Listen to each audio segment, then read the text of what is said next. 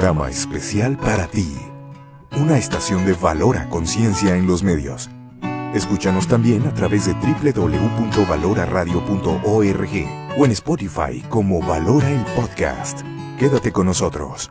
Iniciamos. No tengas miedo al mundo, él te acompañará. Que con los pies en la tierra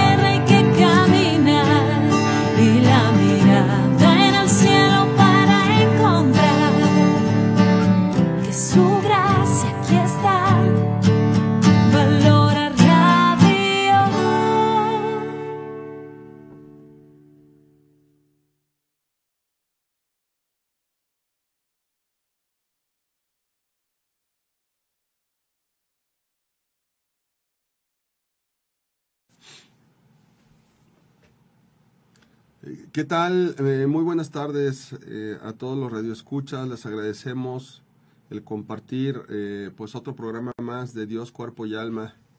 Gracias por, por estar aquí con nosotros. Eh, Tocayo, buen día, Es bienvenido. un placer saludarte, mi buen Hugo. Igualmente agradecerle a los radioescuchas que nos permiten el honor de acompañarlos en sus casas y trabajos en este espacio, Dios, cuerpo y alma. Eh, a- estimado Ariel en, controles, muchas gracias Ariel, como siempre por, por el apoyo. Eh, y bueno, pues eh, como ya se los habíamos prometido, continuaremos, es la segunda parte de nuestro tema, demostración de la existencia de Dios a través de la razón. Eh, antes de entrar de lleno con la continuación del tema, Aquí mi estimado Alex nos hará el, el favor de hacer un mencionar un breve resumen del programa anterior para aquellos radioescuchas que no que no nos hubiesen acompañado el programa anterior, Claro que eh, sí. pues para que traigan ahí un antecedente, ¿no, Por Alex? supuesto, Tocayo, encantado. Bien, pues eh, nada más recordando un poquito lo que estuvimos platicando la semana anterior, Tocayo. Se comentó exhaustivamente sobre el tema eh, que tenía que ver con las opiniones y si todas eran igual de respetables. Al respecto, se comentó, dijimos, platicamos que tenemos derecho de opinar, mas no es igual de respetable la opinión de todos. Eh, se explicó que a mayor conocimiento, mayor verdad contiene una opinión. También se trató el tema de lo que es verdad y su relación con la realidad. Según comentamos, la verdad es la correspondencia entre lo que pensamos y sabemos con la realidad. También se explicó lo que es la verdad relativa, que es una verdad correcta pero incompleta. Además de tratar el tema de la verdad absoluta, que se define como una realidad inflexible, inalterable e invariable. En otros temas también eh, comenzamos a platicar un poquito sobre filosofía. Se tocó qué es y qué no es filosofía. Eh, se dijo que la filosofía es la ciencia que tiene como objeto el estudio del ser a través de las causas más profundas adquirida con la luz natural de la razón. Entonces, pues, consiste en el conocimiento de la verdad mediante el uso de la razón a través de lo evidente. Y entonces, Tocayazo, sigamos, si gustas, platicando de filosofía. Lo siguiente que me gustaría preguntarte es, ¿qué significa conocimiento y verdad filosóficamente hablando? Bien, Tocayo. Bueno, pues este vamos a, a- a concentrarnos en la última de las definiciones Bien. que vimos de filosofía, que es como tú bien lo, lo señalas, ¿verdad? Conocimiento de la verdad mediante el uso de la razón a través de lo evidente. Sí, de acuerdo. Bueno, vamos a empezar por definir conocer. Conocer es averiguar por el ejercicio de las facultades intelectuales la naturaleza, cualidades y relaciones de las cosas. ok. Verdad, ya lo habíamos eh, explicado y Definido, sí. ¿no? Eh, una definición de, de verdad, eh, habíamos mencionado que era eh, la correspondencia que existe entre la realidad y lo que sabemos y pensamos. Es correcto, ¿No? si lo dijimos, sí. Eh, de acuerdo al, dic- al diccionario de la Real Academia, verdad es un juicio o proposición que no se puede negar racionalmente. ¿no? Eh, la verdad, de alguna manera, pues es la realidad. Y la, la realidad eh, denota la existencia efectiva de algo, ¿no? Eh, después tenemos la definición de ser. Ser es todo aquello que existe o de alguna manera dice relación a la existencia. Ok. Eh, continuando con definiciones, raciocinio, ¿no? Porque Sí. la definición dice conocimiento de la verdad mediante el uso de la razón. Es correcto, ¿No? sí, sí. Entonces, el raciocinio o entendimiento, la definición que tenemos, es potencia del alma en virtud de la cual concibe las cosas, las compara, las juzga e induce y deduce otras de las que ya conoce. Repitiendo, Sí, por favor. potencia del alma, potencia vamos a, a- a- a considerarla como un sinónimo de cualidad, ¿ok? de acuerdo. pero en filosofía se dice las potencias o potencialidades del alma. Es potencia del alma, cualidad del alma, en virtud de la cual concibe las cosas, las compara, las juzga e induce y deduce otras de las que ya conoce. De ahí entonces la capacidad del alma para poder llegar a una verdad. De ahí entonces el progreso. El mejor ejemplo de, de, eh, hecho o acción de la definición es el progreso del ser humano. Ajá. ¿Por qué el ser humano progresa? Porque tiene esta potencia, esta capacidad del alma humana, ¿no? Fíjate, concibe las cosas, Sí. nosotros concebimos o, o conocemos a través de los sentidos, ¿no? Las compara, las juzga e induce y deduce otras de las que ya conocía. Entonces, gracias a esta capacidad de inducción, deducción, Sí. es que podemos progresar. ¿sí? Es que el conocimiento puede tener un, un- un fruto, un, un resultado. Porque ya entraremos cuando ve- veamos el alma, la existencia del alma. Eh, el alma animal también conoce. ¿sí? Los animales también tienen conocimiento, también tienen sentidos. Sí, eso es ¿sí? correcto. Sí. pero no tienen la capacidad de deducción. ¿Me Ok. explico? Sí. Entonces, eh, pues este elemento, por eso es que el raciocinio, junto con la voluntad, son las dos potencias o características únicas del alma humana. Ni el alma animal ni el alma vegetal cuentan con estas dos potencialidades, voluntad y raciocinio. ¿Sí? ¿Tocayo? Sí, eh, sí, tocayo. Eh, bajo este concepto, me imagino que vas a presentar evidencias que nos pueden, permitan Sí. deducir la es. existencia de Dios, ¿no? Sí, ahorita un poquito más adelante llegamos a las evidencias. Bien. Me gustaría eh, ahora compartir la definición de inducir. Ah, ok. Porque si, si el raciocinio o el entendimiento es la capacidad del alma en virtud de la cual concibe, compara, juzga, induce y deduce, bueno, ¿qué es inducir? Es extraer a partir de determinadas observaciones o experiencias particulares el principio general implícito en ellas. Y deducir es extraer una verdad particular a partir de un principio general. ¿Sí? Entonces, eh, si nos vamos a la definición de inducir o inducción, ¿va? extraer a partir de observaciones o experiencias, Sí. ¿no? no nomás lo que, lo que captan mis sentidos como Sí. tal, sino lo que vivo o experiencias, Sí. el principio principal y general implícito en las cosas. Bien. ¿No? Ajá. Y deducir, extraer una verdad particular a partir de un principio general. Ok. Entonces, por ejemplo, eh, vimos unos principios la semana pasada, ¿no? Sí. Eh, el todo es mayor que la parte. Sí. ¿No? Verdad absoluta. Ese es un principio Sí. general, ¿no? Sí. Y es una verdad. ¿sí? Por eso dice, extraer una verdad particular a partir de un principio general, ¿no? Este, nadie da lo que no tiene, ¿De acuerdo? ¿sí? Sí. Bueno, ese es otro principio. Sí. Bueno. De este principio de nadie da lo que no tiene, yo puedo deducir que la teoría darwi- del darwinismo de que el hombre vino del mono es una falacia, es imposible. A partir de este principio general. ¿Sí? ¿Por qué? Porque nadie da lo que no tiene. De un ser que tiene un alma que carece de voluntad y raciocinio, no puede surgir un ser con voluntad y raciocinio.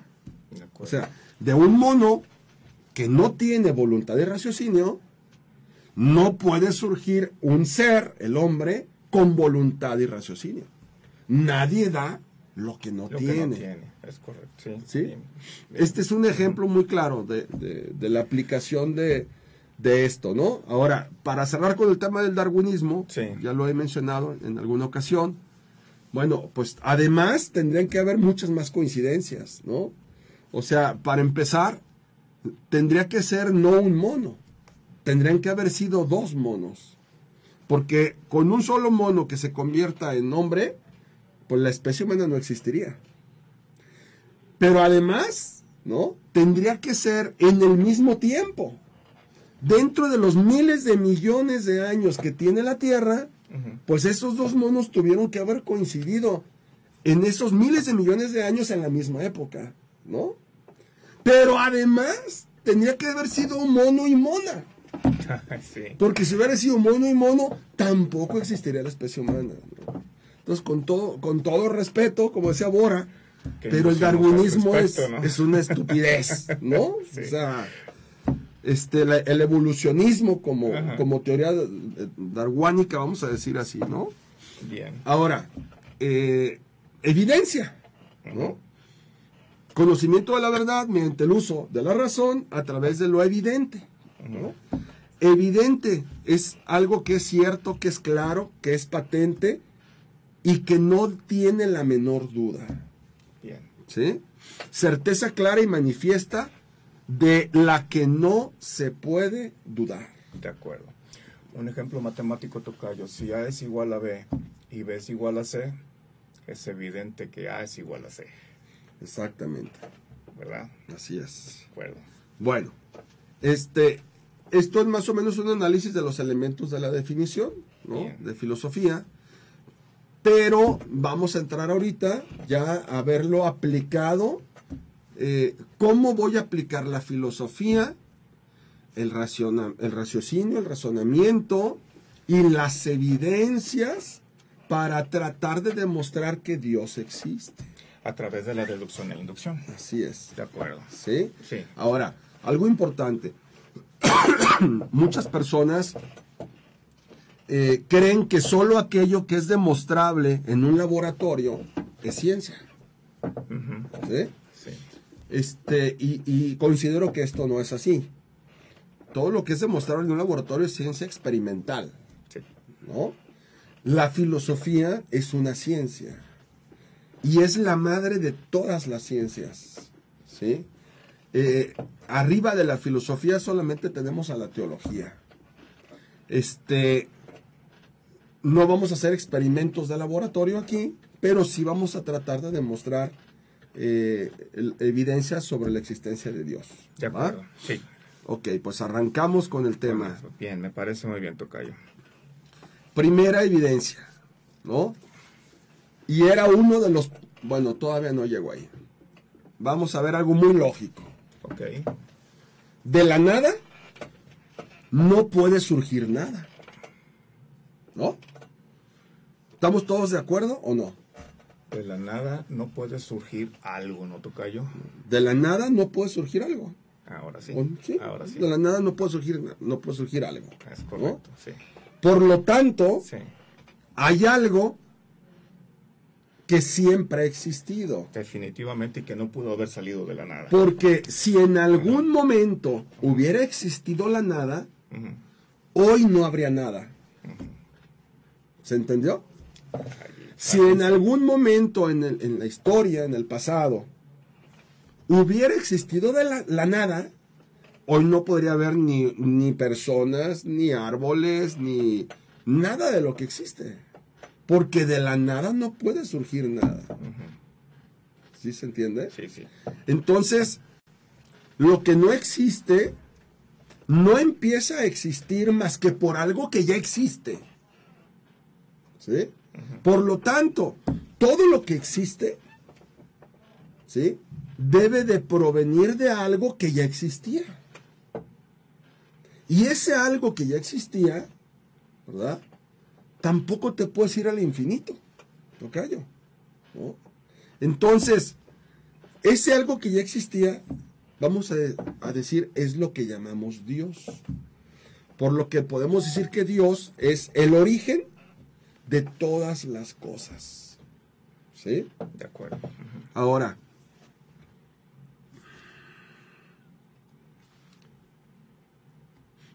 uno de los principios que mencionamos la semana pasada era que a todo efecto le precede una causa. Una causa, sí. ¿No? Sí, sí, lo estuvimos Y eso, y eso es evidente. Quien, quien lo niegue, pues, o, o es, o- o es ignorante o, Pues necio. o es necio, ¿no? Entonces, déjeme explicarlo de esta manera. Yo soy efecto de mis papás. Mis padres son causa de mi existencia, ¿no? Pero mis abuelos son causa de la existencia de mis padres. Y mis padres son efecto de la existencia de mis abuelos. Pero mis bisabuelos son causa de la existencia de mis abuelos. ¿No? Sí. Y bueno, resulta evidente que tampoco nos podemos ir al infinito. Ok. ¿No? O sea, tiene que haber Un inicio. un ser que sea la primera de las causas. ¿No? Tiene que haber un ser que sea la causa de todos los seres humanos que existimos. Un ser que no provenga de de otros seres, porque entonces, pues, ya no sería la causa de todas las causas. Lo que me está queriendo decir Tocayo entonces es que nuestra propia existencia es una demostración de que Dios existe. Claro, claro, si nos ponemos a razonarlo de, de esa manera, ¿no? Sí. O sea, si todos estamos de acuerdo en que es imposible irte al infinito. Y si te O sea, pones- y- ¿cuándo va a, a- a terminar la cadena, no? Sí, O, o- o más bien dicho, ¿cuándo es el inicio de la cadena? tan sencillo como estudiar un poquito el cuerpo humano y ver la perfección con que funciona el cuerpo humano como para decir es producto de la casualidad. Salió de la nada. Es Así es. imposible pensar en eso. No se concibe, por lo menos en, en mi persona, Claro. no concibo eso. Claro. Entonces, eh, a ese ser que es causa de todos y de todas las causas y que no es efecto de nada, es el que le llamamos Dios. Eh, para los que no eh, vieron el programa pasado, eh, una aclaración importante es que estamos haciendo el análisis y la demostración de Dios eh, exclusivamente con la razón, sin entrar a temas religiosos. No estamos ahorita hablando de poniendo etiqueta de, de ninguna religión, ¿no? Bien. Ahora. eh, vamos a pasar a hablar de los grados del ser. Ok, ¿sí? eso va a estar interesante. Eh, ¿qué, qué quiere decir los grados del ser? Eh, se existe lo caliente y lo frío, Sí. ¿no? ¿Cómo mides tú la intensidad o el grado de calor o de frío de las cosas? Bien, no lo puedo hacer de manera eh, exacta con mis sentidos, porque pueden mentir. Lo hago a través de un termómetro, un instrumento que es capaz de medir el grado de intensidad que existe o de energía que desprende un objeto dado, por ejemplo, a través de, de un termómetro. Si, si, si, tu pregunta la entendí bien. Ok. Eh, se dice Sí, que algo está más caliente sí. según se aproxima al calor supremo, ¿no? O sea, algo está más caliente en la medida que se aproxima al, al máximo calor. ¿no? Algo está más frío en la medida que se aproxima a, a- a un frío supremo, ¿no? Eh, de igual manera, el bien, ¿sí? Eh, la nobleza, la caridad, la bondad, ¿sí? Deben de tener un nivel, Grados, un grado de- supremo. Sí, entre más, entre más cercano Mientras más te aproximas a ese grado, Sí, eres más bueno, eres más noble. Noble. ¿Me explico? sí, perfectamente. Ese grado supremo de todas las virtudes eh, que pueden existir es Dios. ¿Sí? Que lo es todo. Ahora, vamos a entrar a. Voy a tratar ahora de entrar a algo un poquito ya más material. De acuerdo. Eh, mi estimado Ariel, pu- pudiéramos eh, publicar la, la segunda lámina, por favor.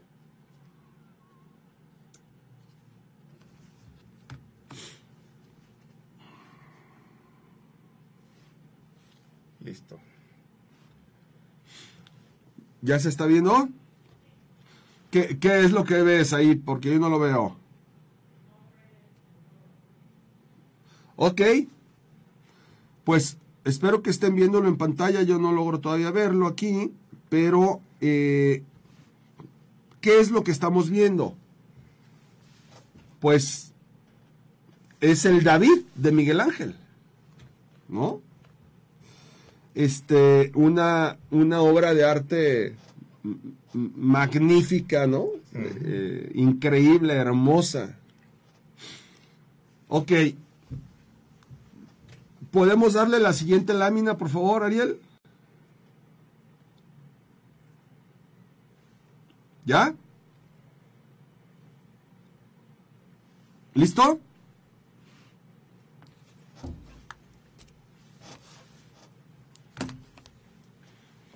Ok, ahorita deben de estar viendo un, un bloque de mármol, ¿verdad? Si yo les dijera que, ese, que esa escultura del David se hizo solo al dejar caer el bloque de mármol desde una altura de 100 metros, ¿me lo creerían o no me lo creerían? ¿Qué opinan? Todavía. ¿Podría pasar?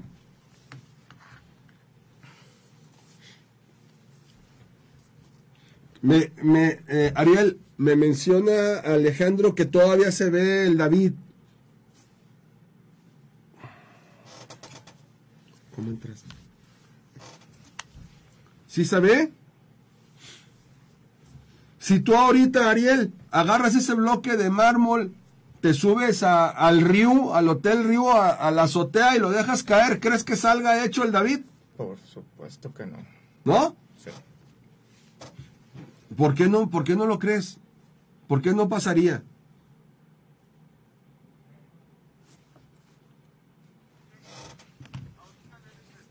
Ok. Ahora, siguiente lámina.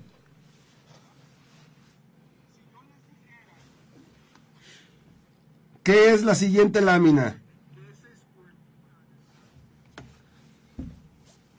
Ahorita todos debemos estar viendo la Mona Lisa.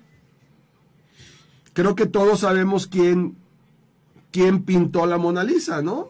O- Leonardo da Vinci. otro gran genio de la humanidad, Leonardo da Vinci. le damos a la siguiente lámina, por favor. En la siguiente lámina estamos observando una paleta con pintura, ¿verdad? Es correcto, sí. Ok, si yo les dijera que si agarro esa paleta de pintura y la estampo en un lienzo y retiro la paleta de pintura, ¿va a quedar hecha la Mona Lisa? ¿Me lo creerían? Por supuesto que no. No, no es lo creerías. evidente que no va a suceder. Es evidente que Es no va a suceder. evidente ¿verdad? que no va a suceder. Ok. Siguiente lámina.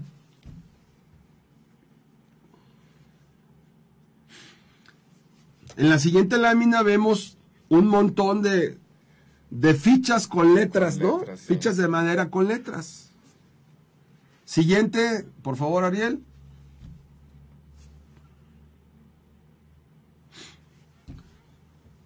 Si yo les dijera que si agarro todas esas letras sueltas, las meto a un cubo, las bato y las tiro al piso, y salió este párrafo escrito, ¿me creerían? No. Todo este párrafo salió batiendo las letras y aventándolas al piso. Tampoco me creerías, Tocayo. no. Qué, qué incrédulo eres, ¿por qué no crees nada? Bien. ¿Y qué tiene que ver esto con Dios? Pues fíjense qué, qué ridículos somos, ¿no? No creemos que si dejamos caer un bloque de mármol del río se haga el David. No creemos que se agarre una paleta de pintura y la estampo en un lienzo quede la Mona Lisa. No creemos que si agarro un cubo con letras y las aviento salga el párrafo que les mostré. Pero sí creemos que el universo se hizo solo. Sí creemos que, que el, el mundo se hizo solo. Sí creemos que la naturaleza se hizo sola. O sea, vaya, vaya. Tocayo. Ahora, una característica importante, y te cedo la palabra. Sí. ¿Qué tienen en común estos ejemplos que les acabo de compartir? La existencia del universo, la existencia de la naturaleza, nuestra existencia. ¿Qué tienen en común, Tocayo? A mi manera de ver, puedo estar equivocado, tú me lo vas a decir. Las obras de arte y el eh, mensaje que están viendo ahorita en pantalla llevan un orden, Tocayo. Tienen un orden, tienen una armonía y hay alguien detrás de ese orden y armonía. Entonces, aplicando lo que nos acabas de compartir hasta el momento, no puede existir orden y armonía en el universo y la naturaleza si no hay alguien detrás de ello. Correctísimo, exactamente. ¿Eso es evidente o no, Tocayo? Total y absolutamente. ¿No? Por En- lo menos yo llegué a deducirlo Claro. sin necesidad de que me lo dijeras con los Totalmente. ejemplos, ¿no? Sí. El Y hago la aclaración que yo no había platicado contigo de este tema en este Perdón. momento que lo estamos comentando, ¿no? el factor común, como bien lo Sí. señalas, es orden. Orden. Es decir, para que exista el párrafo que tenemos aquí eh, en inglés, Sí, tenemos que ordenar las letras en palabras, es correcto. Sí. las palabras en renglones y los renglones en párrafo. ¿no? Sí. Para que exista la figura del David, pues un pedazo de mármol, tenemos que, decía Miguel Ángel, yo nomás le quité lo que le Lo que sobraba. le sobraba, sí. Perdón. Tenemos que, de alguna manera, diseñar, este, esculpir ese pedazo de mármol Modelar. para darle la forma Sí. que tiene. ¿no? La, la paleta de pinturas, las pinturas solas no sirven para nada. Tenemos que ordenar esos colores Sí. en el lienzo con la figura y la combinación de colores que se requieren para poder hacer esa obra de arte. Si, si me permites, Perdón, sí. y, y, y, y sin querer entrar en temas religiosos, hay que tenerle también cariñito a lo que estás haciendo para que te salga con esa armonía. Claro. No nada más es echar plastas así nada más, hay que tenerle cariñito, hay que tener arte, hay que tener este mm, eh, talento para poderlo hacer. Hay que planearlo, Así es. hay que, hay que, hay que tener una, una, un borrador primero, cómo lo voy a, cómo lo voy a ejecutar, qué partes son las que voy a, a ir quitando poco a poco. Eh, hay que Bueno. meterle cariñito a eso también para que, para que llegue a ese grado de perfección que acabas tú de, de, de compartir, ¿no? Entonces, Tocayo, ¿en el universo existe orden o no? Por supuesto que sí, es un hecho. Bueno, tan existe orden que gracias a ese orden es que hoy en día podemos predecir con años de anticipación el paso de un cometa, por ejemplo. El Halley, ¿No? sí. Eh, los planetas, sus órbitas, ¿no? Sus distancias, pues es la misma desde hace Sí. cuántos miles de años, ¿no? Sí. Hay un orden en el universo. Las constelaciones, la forma de las estrellas es la misma. Bueno, todo orden, ¿sí? Este tipo de orden, hablando específicamente, el orden del universo está regido por leyes, que son leyes matemáticas. Las leyes matemáticas rigen el orden del universo, Sí, ¿sí? Sí. Y gracias al estudio de estas leyes matemáticas podemos predecir muchas cosas relacionadas con el espacio. ¿no? Ahora, eh, ¿cuál es el periodo normal de gestación de una mujer mexicana, Tocayo? 40 semanas, si mal no recuerdo. Eh, de una mujer francesa, También, de una mujer brasileña, también, de una mujer china. también. Ok, eso es un orden. Sí, ¿Sí? ¿Por qué razón no? La mexicana, su periodo de gestación es de una semana, la de la italiana es de cinco semanas, la de la francesa es de tres meses, la de la china de nueve meses, porque hay leyes que regulan la naturaleza, ¿no? Y esas leyes son las leyes naturales. Entonces, veamos, lo que pasa es que estamos tan acostumbrados a lo que tenemos que no lo valoramos, ni siquiera lo analizamos. ¿no? Toda nuestra vida diaria está llena, estamos alrededor de un orden. El día, ¿no? O sea, eh, ah, ¿por qué tenemos el mismo ciclo? tenemos una ceguera de taller tal, acostumbrados al, al ver siempre este mismo orden, que lo damos por un hecho. No lo meditamos, no nos Exacto. damos cuenta de las maravillas en las que estamos rodeados y que hablan en todo momento de la existencia de un ser superior a nosotros. Así es, ¿no? Sí. Entonces, eh, vamos a, a ir deduciendo, ¿no? En donde hay orden, ¿sí? Necesariamente tiene que haber una inteligencia ordenadora. Lo acabamos de El orden no se sí. puede poner solo. Es, sí. Me lo acaban de decir, ¿no? Sí, sí, sí. O sea, si yo dejo caer el bloque de mármol, no se hace solo el Miguel Ángel. No solamente lo acabamos de decir, lo acabas de demostrar. Exactamente. Lo estás Espero, demostrando. Espero. ¿no? Eh. Entonces, donde hay orden, Sí. tiene que haber una inteligencia ordenadora. Sí, Esa inteligencia no puede existir si no, la, si no está en un ser. Tiene que haber un ser poseedor de esa inteligencia capaz de ordenar los elementos. sí, ¿No? sí. Bueno, esa inteligencia es tan grandiosa en la medida que el orden que establece es complejo. O sea, mientras más complejo es el orden que implemento, Sí. más grande debe ser la inteligencia para poner ese orden. Definitivamente, mientras más complejo es el orden, habrá ciertos grados en que yo ya no soy capaz de Exacto. comprenderlo. Exacto. Tengo que evolucionar, tú lo dijiste hace un momento, progresar, para ir entendiendo poco a poco cómo se...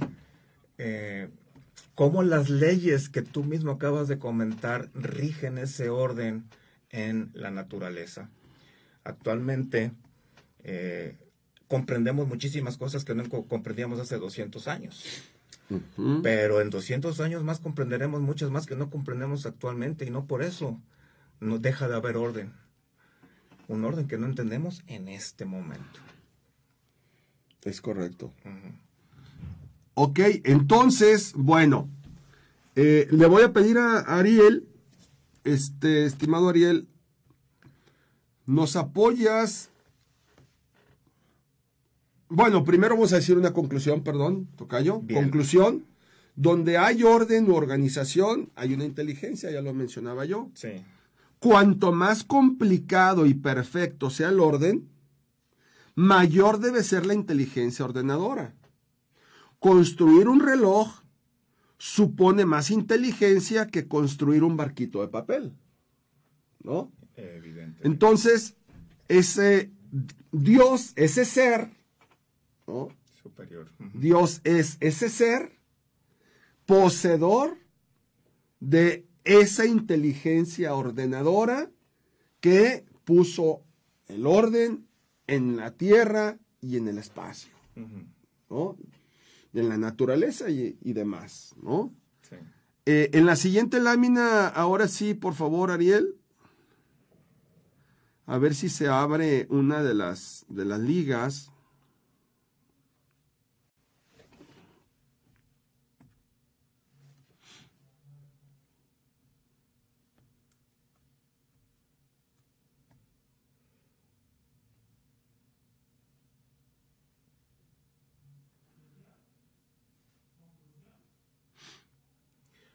La que sigue, Ariel.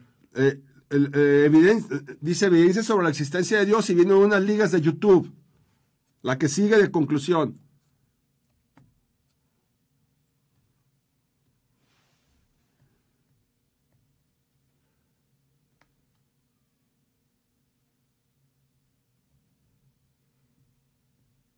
Listo.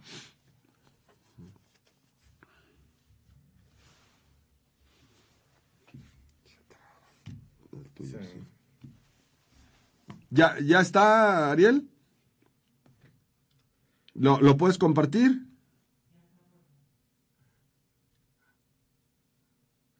¿Sí lo escucha, lo radioescuchas?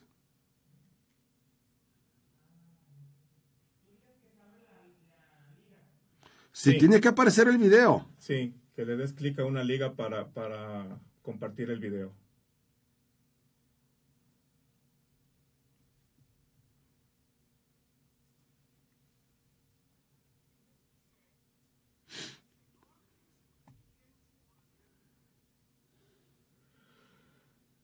Pues bien, Me dices si sí si, puedes, si no, aquí lo proyecto. Un minuto, por favor. sí, no, ¿Lo proyecto? Sí. Ok, permítanos. Muchas gracias por la paciencia a los radioescuchas.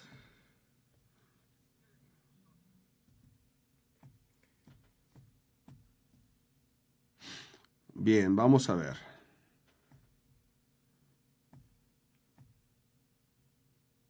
Nunca olvides cuidarlas y respetarlas.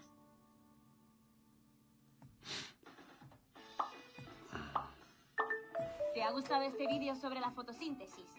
Suscríbete al canal. Hoy aprenderemos haciendo clic en la foca la fotosíntesis. día de nuevas aventuras. Permítanme un minuto.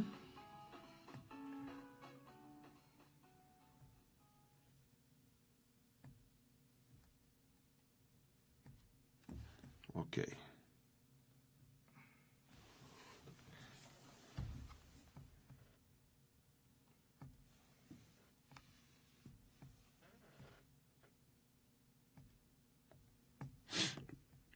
A ver, tocayo. ¿Te ayudó? Este, es que se supone que sí hay internet, pero no me aparece el mira no aparece la, la liga.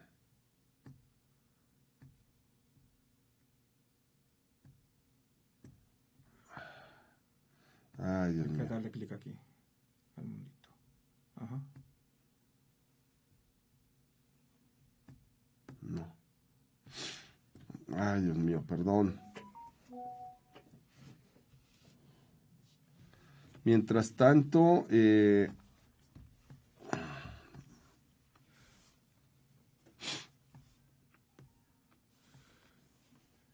vamos a ver si ahorita se puede abrir.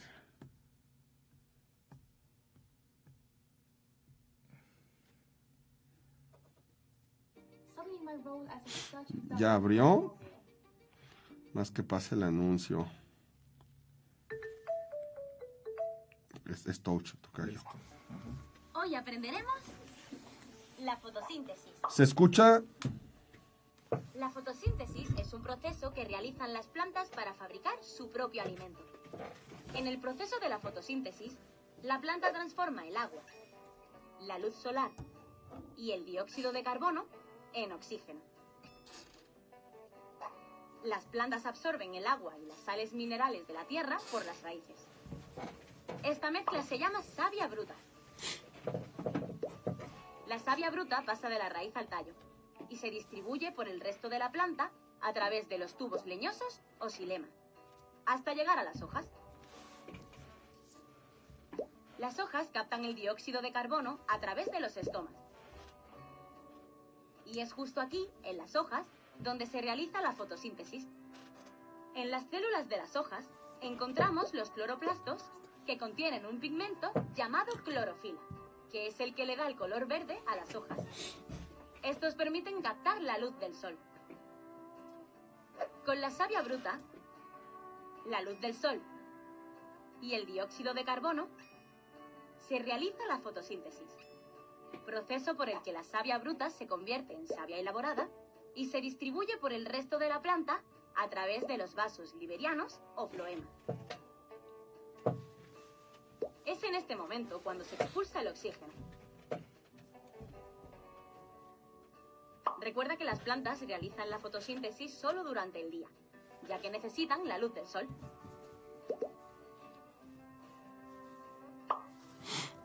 No confundas la fotosíntesis con el proceso de respiración de la planta. Las plantas respiran durante todo el día, toman oxígeno y expulsan dióxido de carbono. Las plantas son fundamentales para la vida en el planeta Tierra. Gracias a ellas, el aire se limpia y podemos respirar aire puro. Así que ya sabes, nunca olvides cuidarlas y respetarlas. Muy bien. ¿Te ha gustado este vídeo sobre la fotosíntesis? Suscríbete al canal de Smile and Learn haciendo clic en la foca. Bien, pues, eh, ¿qué, qué les pareció el video? Eh, como vimos, Tocayo, al ver el video de la fotosíntesis, pues nos damos cuenta que es toda una fábrica de oxígeno, ¿no? Las plantas son toda una fábrica de oxígeno. Así es. Eh, esa fábrica se, se haría sola, Tocayo. No lo creo. Como dijera alguna persona que conocí, la evidencia me indica lo contrario. Así es. eh, y, y bueno, tenemos muchos ejemplos más. Tengo aquí otro, otro video eh, que es maravilloso también. Déjenme ver si lo podemos abrir rápido.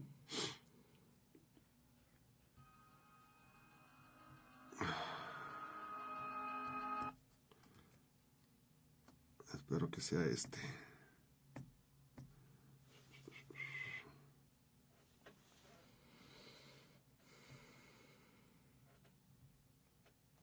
Este es. Vamos a ver, Tocayo. Ay, El diseño UX UI se ha convertido en una de las profesiones más demandadas por las grandes empresas del mercado. ¿Querés saber? Los ojos, al igual que una cámara de vídeo, nos permiten ver el entorno que nos rodea. Las imágenes Ahí se de ve, una Ariel. cámara de vídeo quedan registradas en una cinta. En las personas son almacenadas y procesadas en el cerebro, pudiéndose integrar con el resto de sentidos.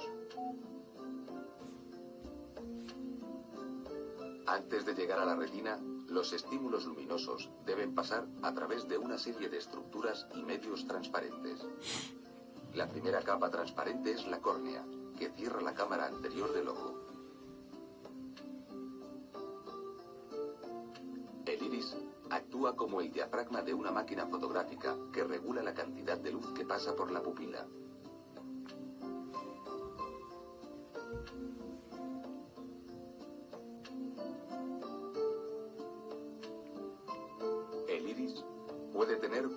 Muy diversos.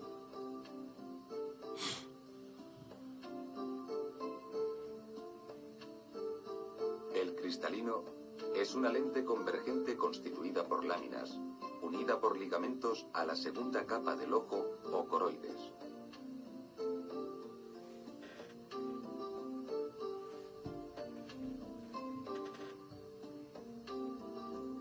Por la acción de los músculos, el cristalino puede acomodar su forma para permitir el enfoque de una imagen invertida sobre la retina. Las variaciones del tamaño del cristalino y del diámetro pupilar es lo que nos permite enfocar objetos a distintas distancias del campo visual. Las personas que sufren miopía tienen problemas para ver de lejos porque la imagen de los objetos se forma antes de la retina. Por eso, deben acercarse más al objeto para hacer coincidir la imagen sobre la retina.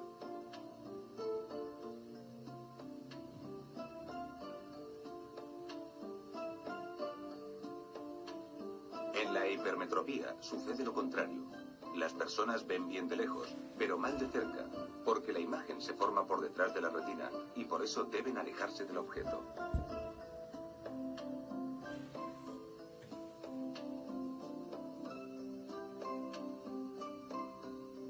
Estos defectos pueden corregirse mediante lentes artificiales, gafas o lentillas que se colocan por delante de la lente biológica. Bien, Hermoso video. este, lo, lo interrumpimos porque por cuestión de tiempo y lo más importante que yo quería compartir, creo que ya lo vimos. Eh, como nos dimos cuenta, el ojo humano es una maravilla. Es una cámara fotográfica mucho más precisa Que este, cualquier que cualquier otra diseñado, cámara. sí. ¿no? Total, sí, Eh, eh, así es. ¿Quién me puede decir que una cámara tan exacta y tan compleja como lo es el ojo humano Tan compacta. se hizo solo? Mm, ¿No? sí. No, es que se hacen solos.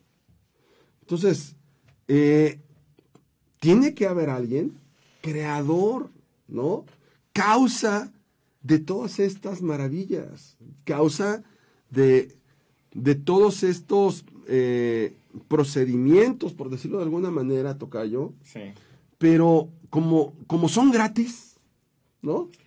No los valoramos, Como los damos ya por hecho. Los damos ya sí, por hecho. Sí, sí es. ¿cierto? Bien, pues este, ya para cerrar, eh, los últimos minutos, eh, cabe comentar que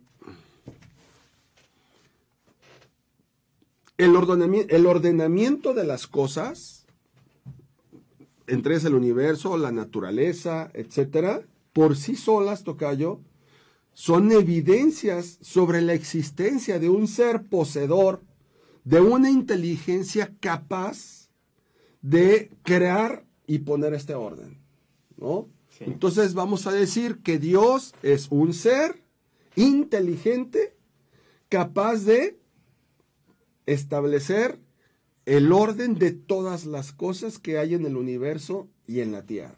Ok. Bien. Y en resumen, ¿no? Evidencia sobre la existencia de Dios. Ya dijimos uno, de la nada no puede surgir nada, por lo tanto, hay algo que siempre ha existido. A todo efecto le precede Una una causa. No podemos irnos hasta el infinito con la causa de otra causa, de otra causa, de otra causa. tiene que haber un ser que sea la causa de todas las causas, la causa primera de todo lo que existe. Ese ser es a lo que llamamos Dios, ¿no? Eh, y bueno, como colofón para nuestro siguiente tema, había un principio filosófico que decía nadie da lo que no tiene. Sí, ¿no? ya lo hemos comentado, sí. a partir del siguiente lunes vamos a entrar ahora a analizar la existencia del alma. Bien. ¿Sí? Del alma humana. Un tema sumamente Ahora, importante. nadie da lo que no tiene. Si el ser humano tiene voluntad y raciocinio, tuvo que haberlo recibido de un ser que también tenga voluntad y raciocinio. Buen punto, sí. Ese ser es Dios. ¿no? Bien. Y pues Muchísimas gracias. cerramos con una definición que su, que su, su, su amigo hizo, ¿no? su servidor hizo, es una definición de Dios que elaboré con base a, a lo, a lo que vimos y estudiamos en estos dos programas. Bien. Dios es un ser poderoso, eterno, porque no tiene principio, ni va a tener fin, e inteligente, que es causa de todo y no es efecto de nada. Origen de las perfecciones de todo orden que se encuentran en todas las cosas, que ha hecho la naturaleza y ha puesto en ella de manera ordenada esas leyes tan maravillosas que rigen su funcionamiento. Pues muchísimas gracias, Ariel, gracias por el apoyo. Ahora sí que fue un día difícil para Ariel. Gracias, Ariel, por tu apoyo. A ti, Tocayo, por compartirnos todas estas evidencias sobre la existencia de un ser superior a nosotros. Esperamos o espero con ansias el próximo programa para seguir platicando sobre la existencia de Dios, pero ahora también del alma. Y, y bueno, eh, una disculpa, esperemos que para el, el siguiente programa ya pueda hacerse la, la proyección directamente desde controles.